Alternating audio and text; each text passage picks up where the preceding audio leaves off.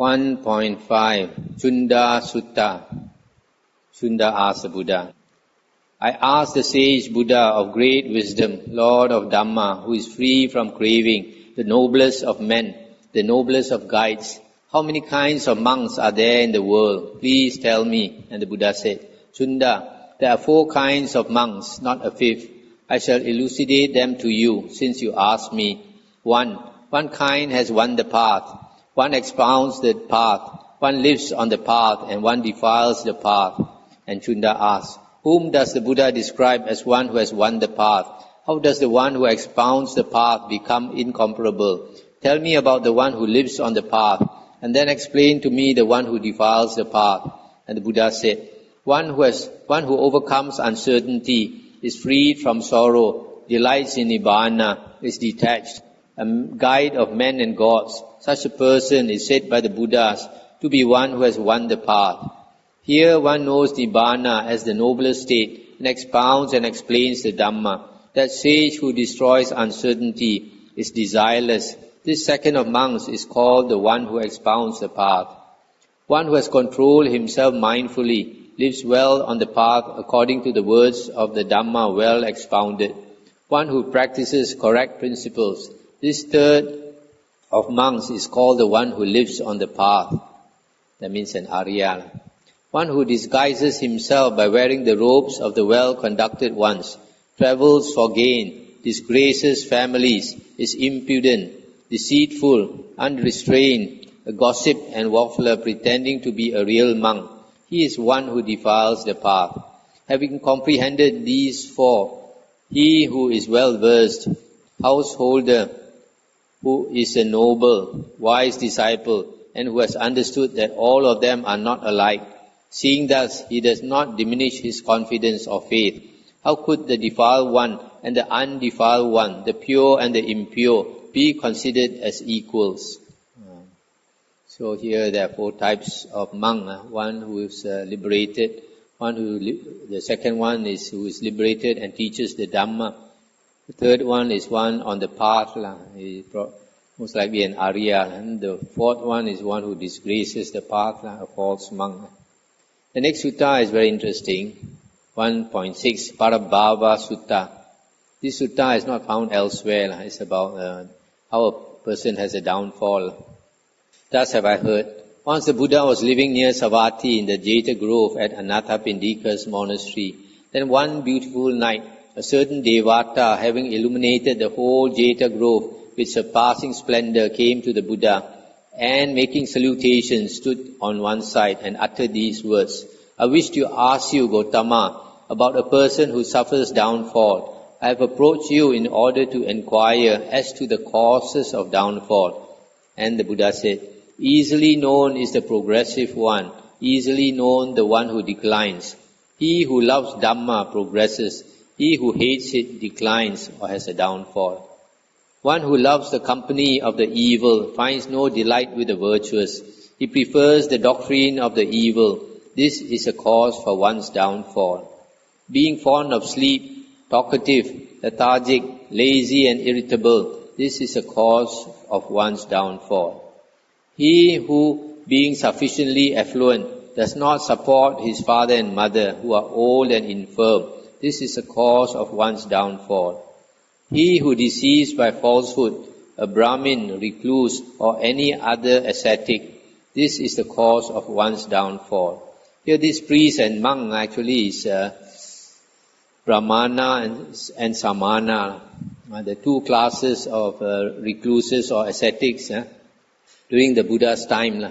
Those who come from the Brahmin caste are called Brahmana. Those who come from the other caste uh, are called Samana. Uh having ample wealth, assets and property, enjoying them alone, this is the cause of one's downfall. If a man is conceited through his birth, wealth or community and looks down on his own kith and kin, that means relations, uh, this is the cause of one's downfall. To be a womanizer, a drunkard, a gambler, and to squander all one earns, this is a cause of one's downfall not to be contented with one's wife, but to be seen with a prostitute or the wives of others. This is a cause of one's downfall. being past one's youth, to take a young wife, and to be unable to sleep for jealousy of her, this is a cause of one's downfall. This is what Hokkians call lao hiao. Uh, old already, uh, take a young wife, and always thinking the wife may be talking to another man, cannot sleep. To place in authority a woman given to drink and squandering, or a man of like behavior, this is a cause of one's downfall. This one, uh, that means you appoint uh, a manager to take care of your business, uh, and this manager uh, does not have sila. A person who looks after your property or whatever, uh, if he does not have sila, uh, he will squander away all the property.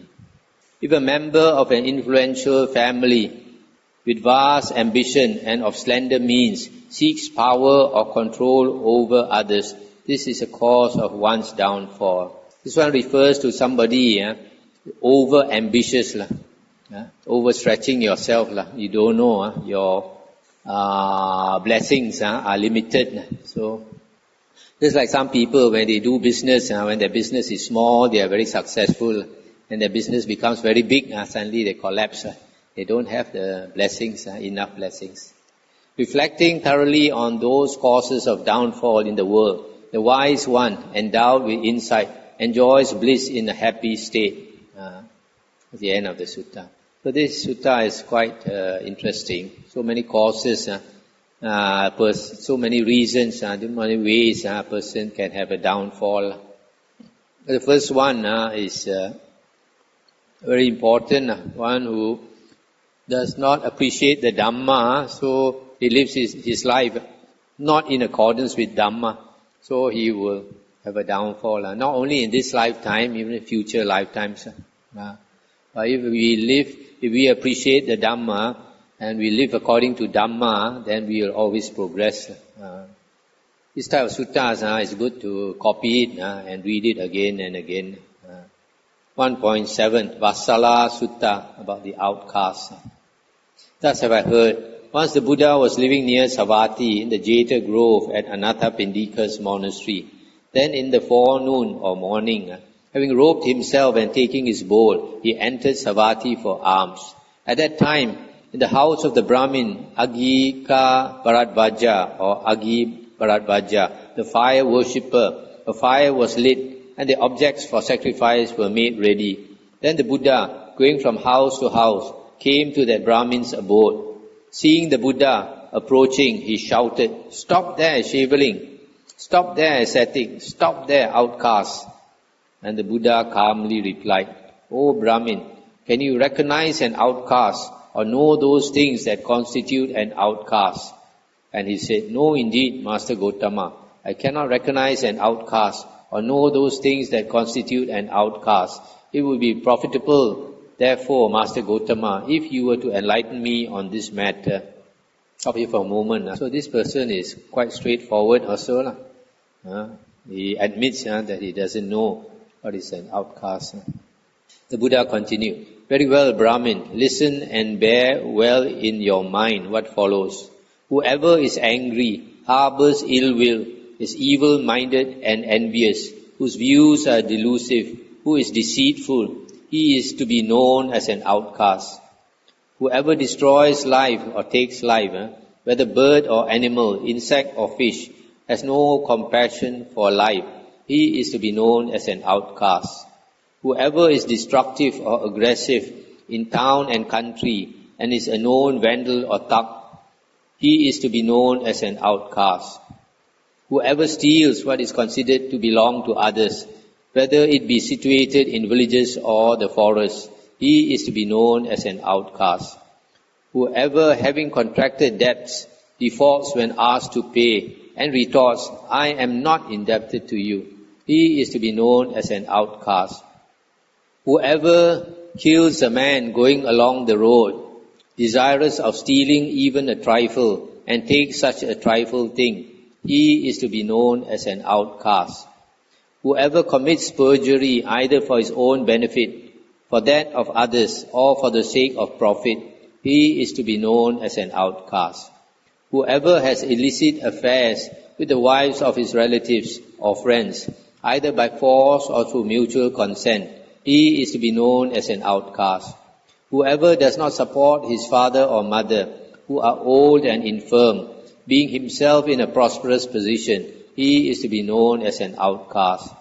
Whoever strikes or abuses by words, either father, mother, brother, sister, or mother-in-law, he is to be known as an outcast.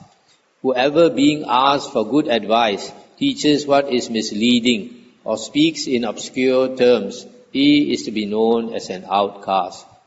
Whoever having committed an offense wishes to conceal it from others and is a hypocrite, he is to be known as an outcast. Whoever having gone to another's house and taken advantage of the hospitality there does not reciprocate in like manner, he is to be known as an outcast. Whoever deceives a Brahmin or a recluse or any other ascetic, he is to be known as an outcast. Whoever abuses with words and does not serve a Brahmin or a recluse coming for a meal, he is to be known as an outcast. Whoever, being enmeshed in ignorance, makes untrue predictions for paltry gain, he is to be known as an outcast.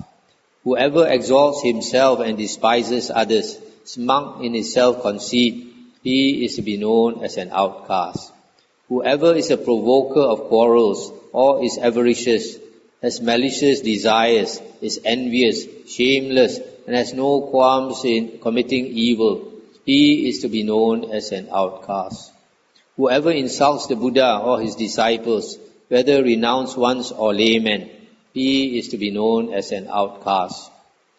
Whoever not being an arahant pretends to be one, he is indeed the greatest rogue in the whole world, the lowest outcast of all. Thus have I exposed those who are outcasts. One does not become an outcast by birth. One does not become a brahmana by birth, a holy man. It is by deed that one becomes an outcast. It is by deed that one becomes a brahmana. Stop here for a moment. Ah. So you see the 20, ah.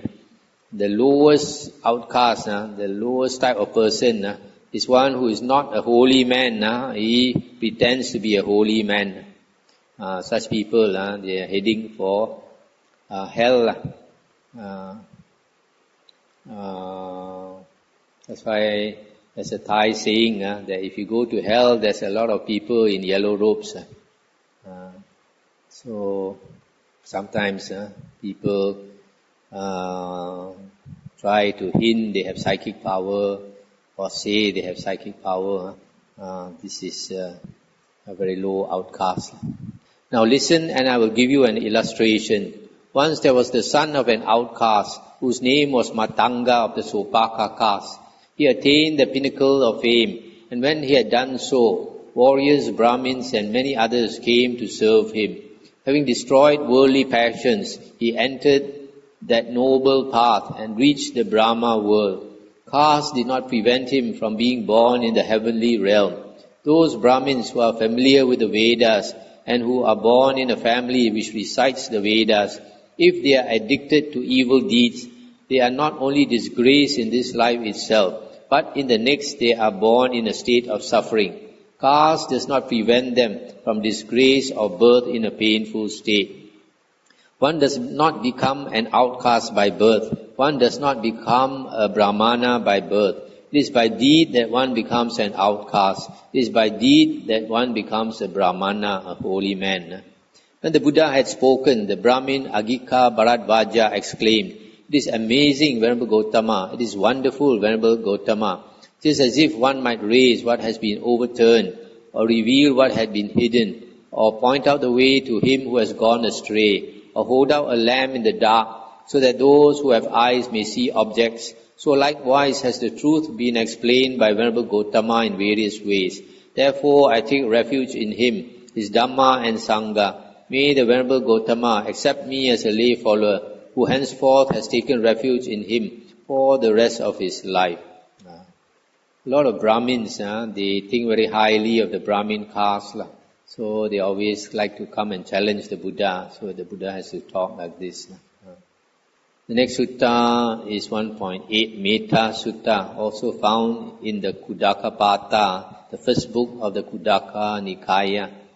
Uh, the Buddha uh, says, uh, He who is skilled in welfare, who wishes to attain that calm state, should act thus. He should be able, upright, perfectly upright, of noble speech, gentle and humble. This, is the chant we always do. lah. Karanya matta kusalena yantang santang padang abhisamecha, etc. Contented, easily supported with few duties of light livelihood, with senses calmed, discreet, not impudent, not greedily attached to families. He should not pursue the slightest thing for which otherwise men might censure him. May all beings be happy and secure. May their hearts be wholesome. Whatever living beings there be, feeble or strong, tall, stout or medium, short, small or large, without exception, seen or unseen, those dwelling far or near, those who are born or those who are to be born, may all beings be happy let none deceive another, nor despise any person whatsoever in any place. Let him not wish any harm to another out of anger or ill will, just as a mother would protect her only child at the risk of her own life. Even so, let him cultivate a boundless heart towards all beings. Let his thoughts of boundless love pervade the whole world, above, below, and across without any obstruction without any hatred, without any enmity. Whether he stands, walks, sits, or lies down, as long as he is awake, he should develop this mindfulness. This, they say, is the noblest living here. Not falling into wrong views, being virtuous and endowed with insight, by discarding attachment to sense desires, never again is he reborn. You see one thing uh, very good about our Buddha's teaching uh, is that uh, we see all beings uh, as related to us. The Buddha says uh, it's very difficult uh, to find a being you meet who has not been your father, your mother, your relative before. And understanding that we go on the cycle of rebirth again and again. So we understand uh, this is very, very probable. So we don't discriminate uh, uh, on religion, we don't discriminate on on race and all that. Uh, so uh, we practice loving kindness, uh, and we have no uh, reason to to kill people. Uh, uh, so we the Buddha's uh, teaching. Uh, we practice the Buddha's teaching, uh, we never go to war. Uh, Buddha's religion. Uh, very peaceful religion in the world. 1.9 Hemavata Sutta. This uh, about two yakkhas. Uh, the yakkha Satagiri, Satagira said, uh, Today is the full moon day of the lunar month. The divine night has approached. Let's see Master Gotama, the teacher, perfectly named. So this uh, Satagira, he has a faith in the the Buddha, whereas his friend uh, Hemavata does not, uh, not yet. Uh. The Yakkha Hemavata said, is the, steadfast, is the steadfast one's mind well directed towards all beings, as he brought his thoughts as regards pleasant and unpleasant things under his control. And Satagira said, the steadfast one's mind is well directed towards all beings. Moreover, he has brought his thoughts as regards pleasant and unpleasant things under his control. That means uh, is well directed to all beings. Uh, that means he has uh, loving kindness uh, towards all beings. Uh, and uh, as regards pleasant and unpleasant things, uh, he is not greedy uh, for pleasant things uh, and uh, averse to unpleasant things. Uh, and Hemavata says, does he not steal? Is he self-controlled towards living beings? Is he far from being lethargic or lazy? Does he not give up meditation? And Satagira said, he does not steal. His attitude is one of self-control towards living beings. He is far from being lethargic. The enlightened one does not abandon meditation. And Hemavata says, does he not speak falsehood? Does he not use harsh words? Does he not say things which cause distress? Does he not indulge in frivolous talk?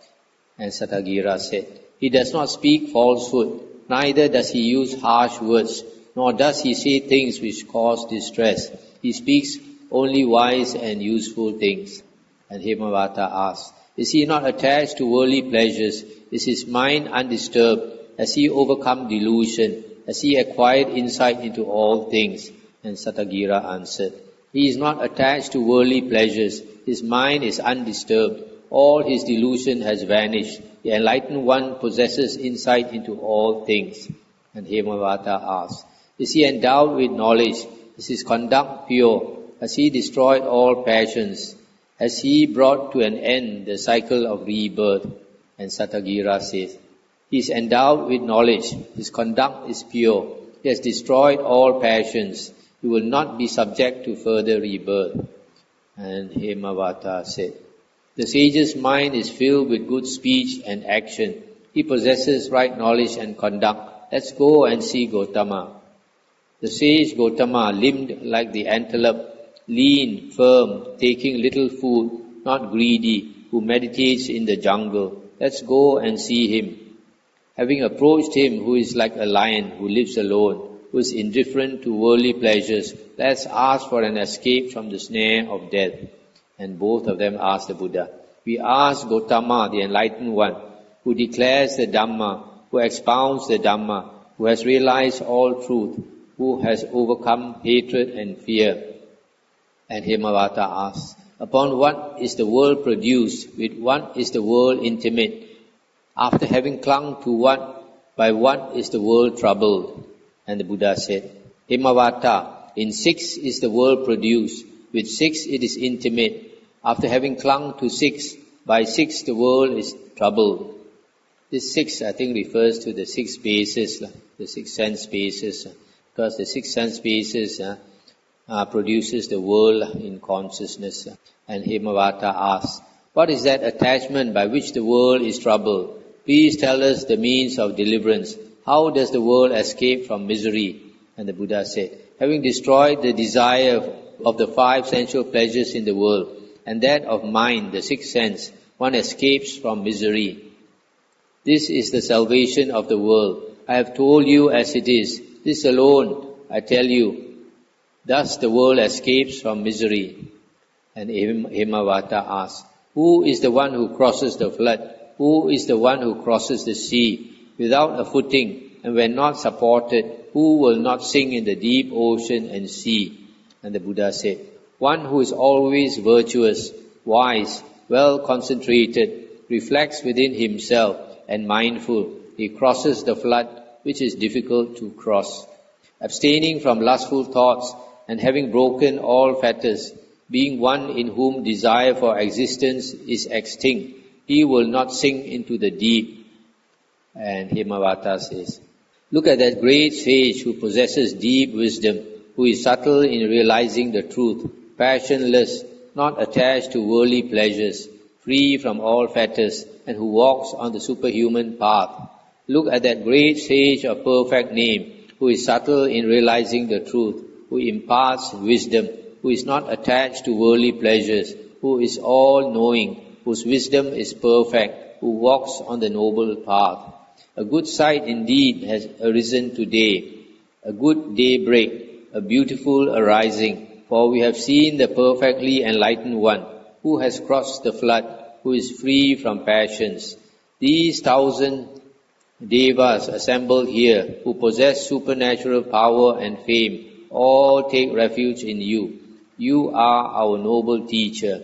Thus we shall wander from village to village and mountain to mountain, paying our respects to the enlightened one and to his Dhamma, which is well preached. So these devas, uh, they come and ask questions. When the Buddha answers the questions, uh, they become his disciples. 1.10 Alavaka Sutta. This sutta is also found in Samyutta Nikaya 10.12. Thus have I heard. Once the Buddha was dwelling in the residence of the Yakkha, Alavaka, near the town of Alavi. Then Alavaka came to the Buddha and shouted, Get out, recluse. Uh, by the way, It seems uh, the Buddha uh, was around that area. Then the wives of this Yakkha, Alavaka, they came to talk to the Buddha.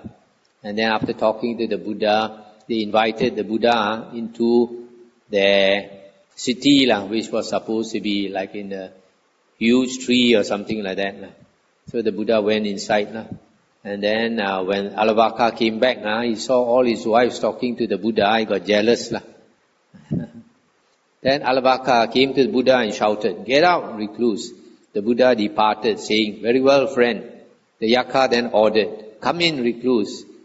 And saying, Yes, friend, the Buddha entered. For a second time, the Yakkha shouted thus to the Buddha, Get out, recluse. The Buddha again departed, saying, Very well, friend. For a second time, the Yakkha ordered, Come in, recluse. Saying, Yes, friend, the Buddha again entered. For a third time also, the Yakkha shouted, Get out, recluse. And for a third time, the Buddha departed, saying, Very well, friend. However, when Alavaka shouted his orders to the Buddha, yet again the Buddha retorted, I will not obey you, and you can do whatever you like about it. And he said, I shall put a question to you then, recluse, and if you do not answer, I will derange your mind, uh, or make you mad, uh, or tear out your heart, or take you by the feet and throw you to the other side of the river. And the Buddha said, I do not see, friend, in the world of gods, Maras, Brahmas, or men, anyone who could do to me such as you say. However, friend, proceed with your question. And Alavaka asked, What is the best wealth to a man in this world? What is the good practice that brings happiness? What is the sweetest of all tastes? What manner of living is said to be the noblest kind? And the Buddha said, Confidence or faith eh, is the best wealth to a man in this world. Well practiced Dhamma brings the most happiness. Truth is the sweetest of all tastes. Living with wisdom is said to be the noblest kind. And Alavaka again asks, how does one cross the flood of recurrent birth? How does one cross the sea of existence? How does one transcend unhappiness? How does one get purified?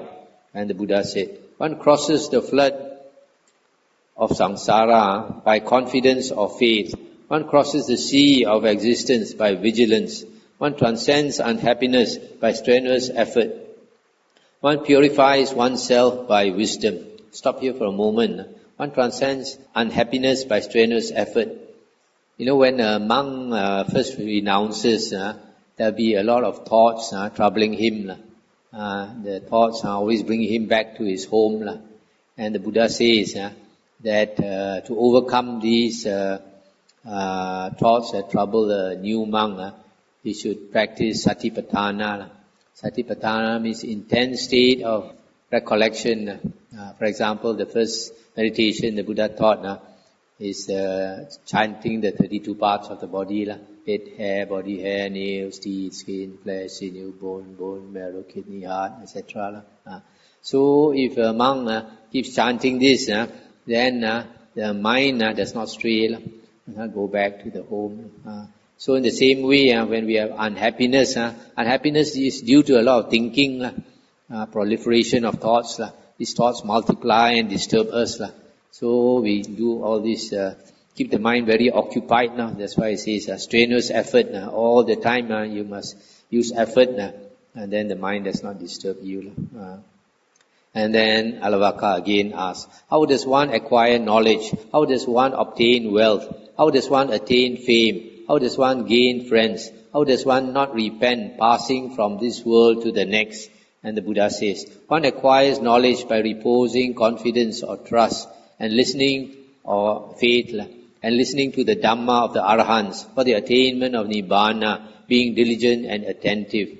One who does what is proper, one who is resolute, one who is industrious, acquires wealth. Once attain, one attains fame by truth, one who gives gains friends. Uh, if you are always generous, uh, you'll have a lot of friends. The confident householder in whom there are four virtues, truthfulness, goodness, energy and generosity will not repent after his death.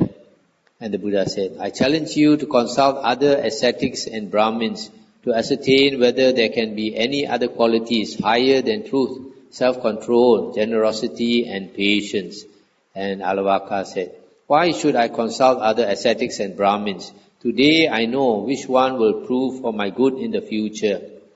The Buddha indeed came to my residence near Alavi for my benefit. Today I know what should be given to achieve great results. From today I will wander from village to village, from town to town, paying my respects to the fully enlightened one and to his perfect teaching. Uh, so this fierce Yakkha uh, converted and became a protector of the Buddha. 1.11 Vijaya Sutta. It's about uh, reflection on the unattractive uh, nature of the body, the 32 parts of the body.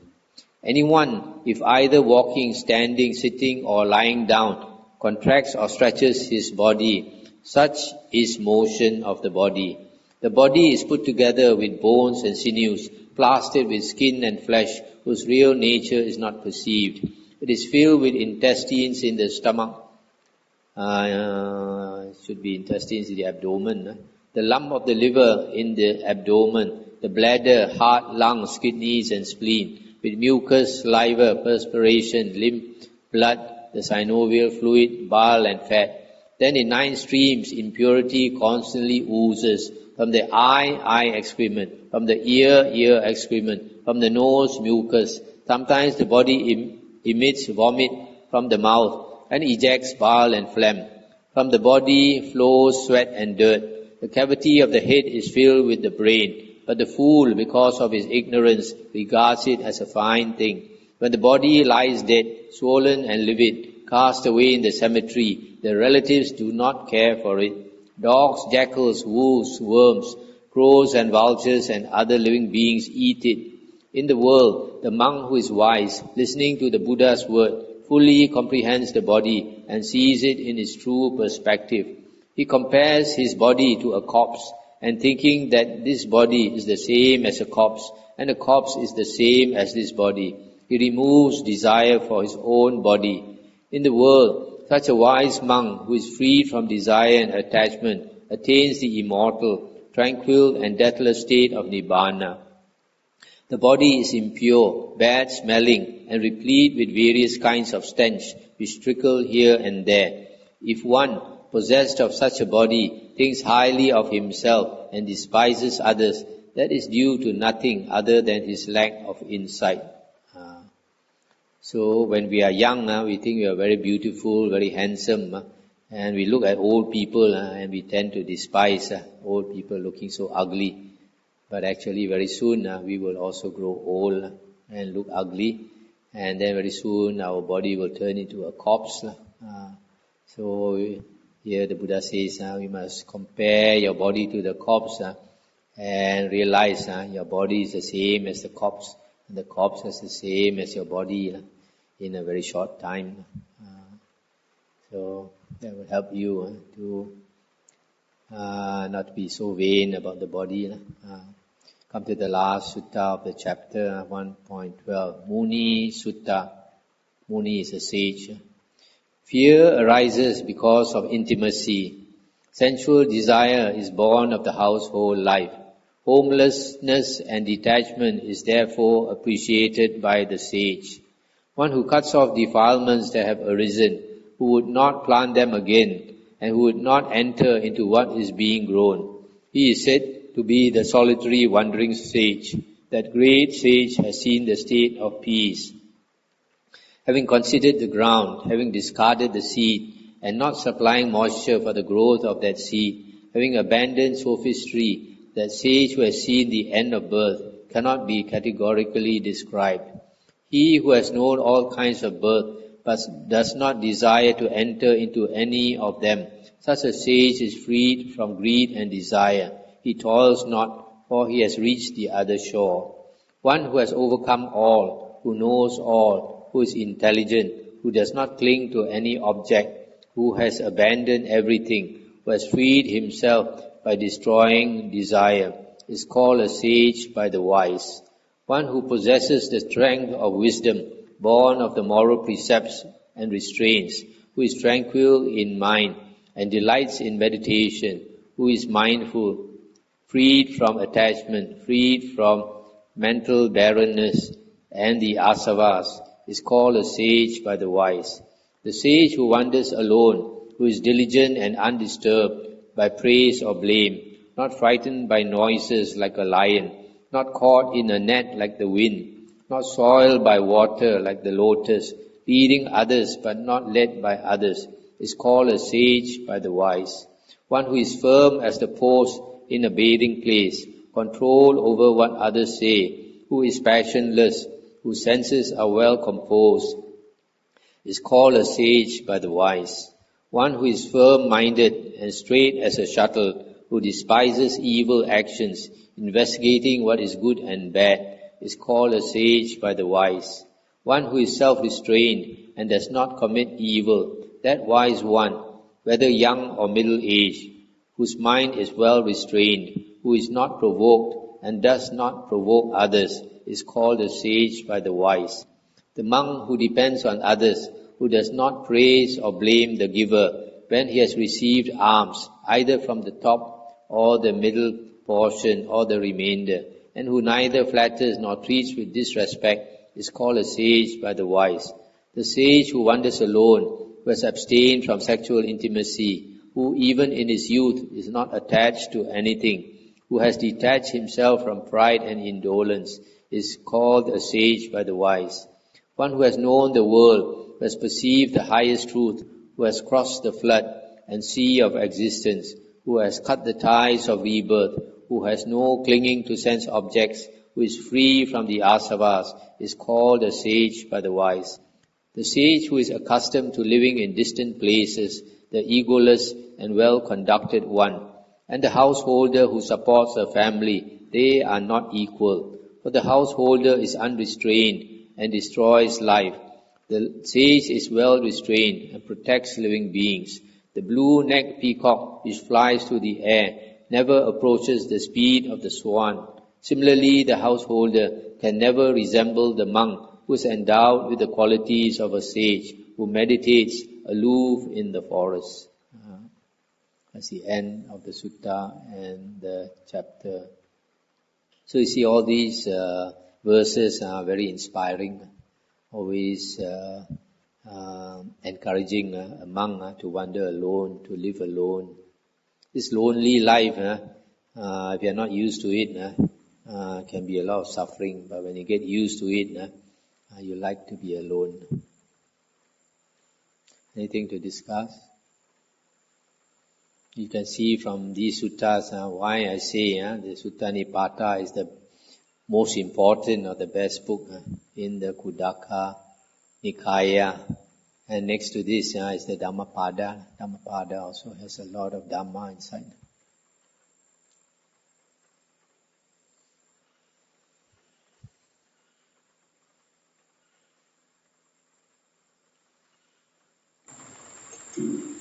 Uh, where is that? Page 20, 20 what? 22. Uh, which uh, fear arises because of intimacy. When you're intimate with uh, uh, people, uh, you fear losing them those you love lah.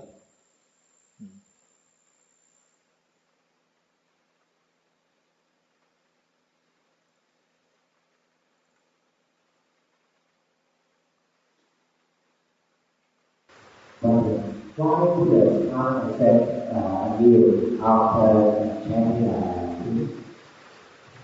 I didn't hear clearly. Why can't, why can't don't put too near the your what no? Uh, have to wait a while. Why not the Buddha accept the view after? Why can't the Buddha accept the food uh, after uh, saying those words? Uh? The Buddha says uh, he does not chant for his meal. So, uh, in other words, uh, what a lot of monks are doing uh, uh, is wrong, no? just like uh, the Pat we, Pat we uh, collect money uh, after the chanting. Uh. It's against the Buddha's teaching. Uh, so people give, uh, uh, because they want to give, lah. Uh, because you see, after the Buddha said those words, and you give, uh, it's like the Buddha begging you to give, lah. Uh, so that's why the Buddha said, uh, throw away that food, lah. If you want to give, give another portion, not that food.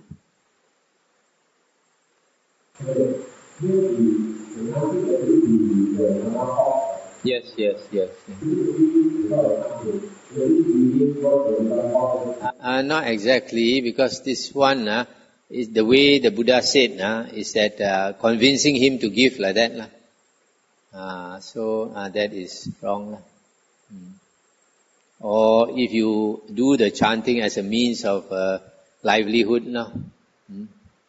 Like we do the chanting, uh, uh, transference of merit uh, is different. No?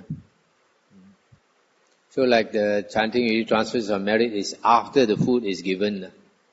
Uh, and, we, and, that is also for the departed.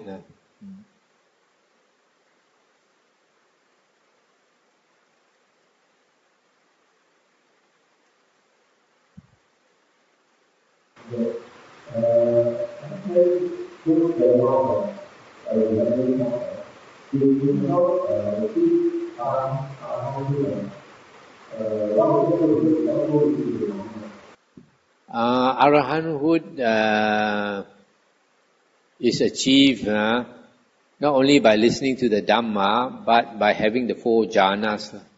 So, uh, those devas who come to listen to the Dhamma generally are those that are nearby in the sensual desire realm, and they don't have the four jhanas. So usually after listening to the Dhamma, they attain stream entry. They understand and attain stream entry. So from the suttas we find uh, uh, generally there's uh, the highest they attain. Because other higher stage than uh, stream entry you have to meditate.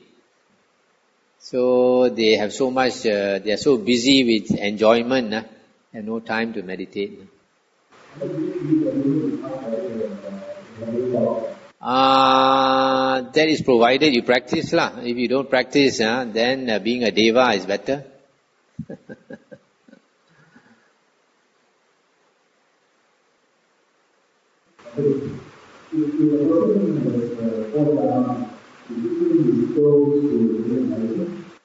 yes, uh, if a person has four jhanas, but he must uh, know the Dhamma. lah. If he does not know the Dhamma, then uh, the most uh, is he has psychic power, like external sex ascetics. Uh, but even uh, external sex ascetics, uh, when they have four jhanas, uh, Mara cannot sit still. He's afraid they become enlightened, uh, so he come and disturb. So as long as you have not attained the fourth jhana, don't worry that Mara will come and disturb you. So I hope you all, after uh, listening to this, uh, you can take back the book uh, and look through it again, so you can understand better. And if you have questions tomorrow, also you can ask. Okay, shall we end here?